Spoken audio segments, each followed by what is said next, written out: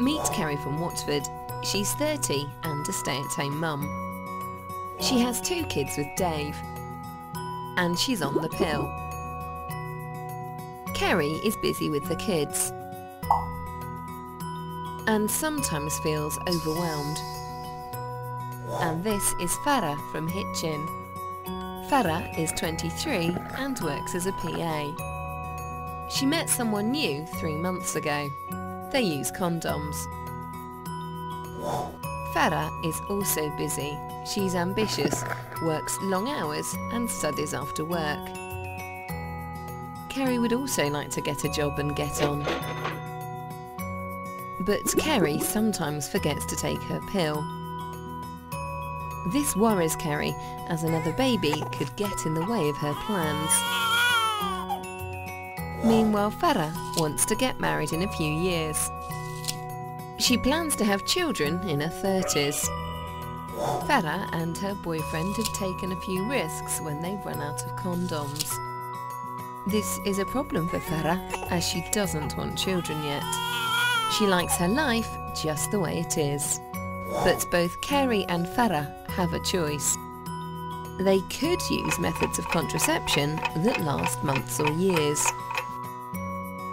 Sometimes these are called long-acting reversible contraception or LARC methods.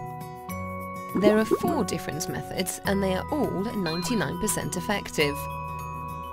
They won't affect your fertility if you decide to stop using them and try for a baby later, and you can stop using them at any time.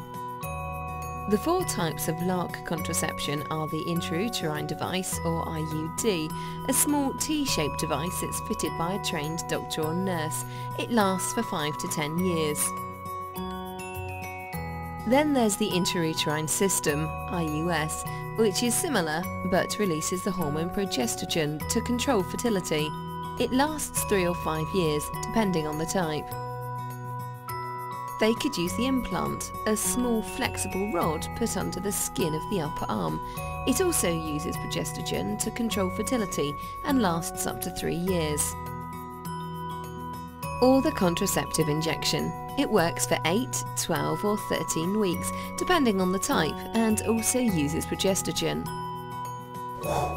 Farah thinks one of these methods might work for her. Kerry thinks the same. All they need to do is call Sexual Health Hertfordshire.